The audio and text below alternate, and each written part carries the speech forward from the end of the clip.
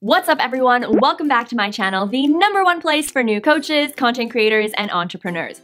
In today's video, I really want to answer a question that a lot of young people have, including myself, and that is how do I earn a six-figure income? Specifically, how do I earn this before the age of 25? For some reason, society tells us that the age of 25 is an age where we need to have all our shit together. This is when we start getting really ambitious with our goals, wanting to buy a house by the age of 25, wanting to make a certain income by the age of 25, and all of that. But what I realized is that as I was slowly approaching the age of 25, I realized that I was nowhere close to achieving my goal of making six figures. Specifically, back then when I was working my 9 to 5 job, I was making 65k a year. That's not bad.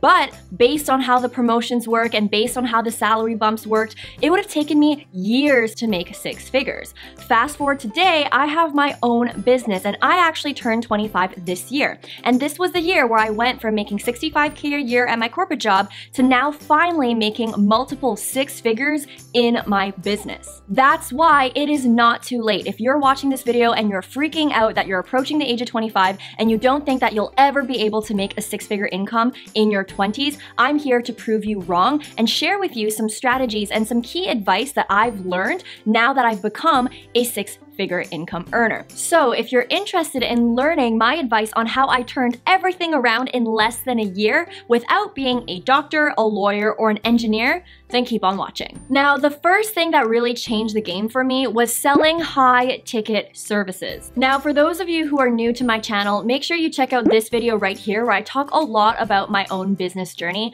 But in a nutshell, if you are in fact new, just know that I used to work in a 9 to 5 corporation making 65k a year.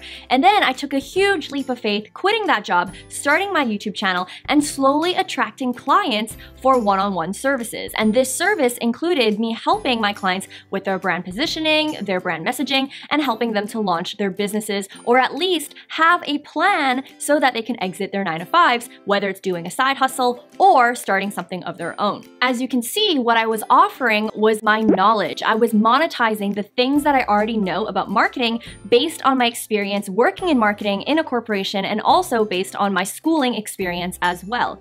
Eventually, I launched my packages and it was about $2,000 each. And in January alone, when I officially opened the gates to the public to my business, I signed five clients. And with five clients with packages that are worth $2,000, I made $10,000 that month. Not only this, if you really think about it, this also far exceeded what I was already making in my corporate job. So as you can see, having a desirable skill and selling one-on-one client-based packages can truly be a profitable avenue if you want to earn six figures a lot faster in your 20s versus working for a corporation. Now, obviously, this depends on the company that you work for, but like I said earlier on in my video, I wasn't a lawyer, I wasn't an engineer, I wasn't a doctor, I was a marketer. And most companies, when you're in marketing, don't pay six figures right off the gate. That's why in my personal experience, starting my own business was a better avenue for me to fast track that financial growth. So whether you're a master copywriter, salesperson, social media person, graphic designer, or video editor, or whatever desirable skill that you have, just know that you can monetize it. And if you don't believe me and you feel like an imposter, make sure you check out this video right here where I cover not only how to become an expert, but also how to ditch your imposter syndrome the same way that I did when I was first starting out my business. But for now, just know that you can sell high ticket services using your monetizable skills. Not only this, as you start developing more experience in your business, you're then able to charge more for these packages and therefore increase your income potential. And then eventually, as the next phase, you'll then want to scale that business by either creating courses, teaching a proven framework, or creating an agency where you hire other people to do the work for you so you're not trading time for dollars and other means for scalability. There's so many different endless options on how you can truly scale this type of business, but just know for now that selling high ticket services can truly fast track your income potential in your 20s and beyond. Now moving on to my second tip, and that is surround yourself with people who have the results that you want for your own life. Now through my own personal business journey and personal growth journey, what I realized is that a dangerous mistake that you can make is to take advice from people who do not have the results that you want. Now, my next example might ruffle some feathers, but this is something that truly hit home for me.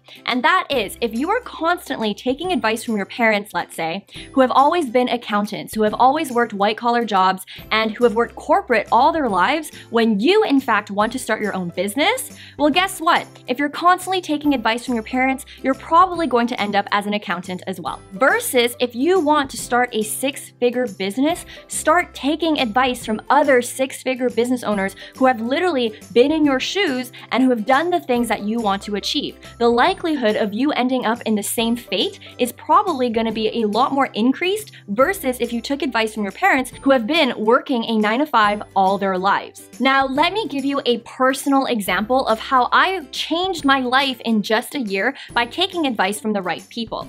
Now, back then, my biggest goal was to work for a Fortune 500 company, and I really wanted to move my way up the corporate ladder and become a VP. So, a really great majority of my life, I was only taking advice from people who've done the same people who worked in corporate, who had the jobs that I wanted, and all of that. And that worked out really well for me. I ended up landing my dream job at that Fortune 500 company thanks to all the people that I was listening to because they themselves have achieved the same. As you can see, the principle applies to all aspects in your life. Eventually, I realized that the corporate grind truly wasn't for me. And that's why I started to listen to a lot of advices from my boyfriend. My boyfriend is an entrepreneur, he's also a six figure earner. And at the time, I was listening to a lot of the things that he was telling me. Fast forward to a year later, I'm now also a six figure entrepreneur as well. And this is all thanks to me shifting gears and taking advice from someone else. Not only this, aside from just my boyfriend, I ended up hiring mentors who also had six figure businesses and all of that. And that truly did fast track my growth. That's why I am living proof that your life can totally change just solely based on who you take advice from and who you surround yourself with. So I really want you to take this tip into heavy consideration as you're thinking about how you can fast track your financial growth in your 20s. Now, moving on to the third tip that I have for you in order to fast track your growth in becoming a six figure earner before the age of 25 is to think big. Now, I know that this tip sounds super fluffy, but bear with me and please do not click out of this video because I have living proof that thinking big can truly change your life. For example, when I was with my boyfriend, I told him back then a long time ago that one of my biggest financial goals was to make six figures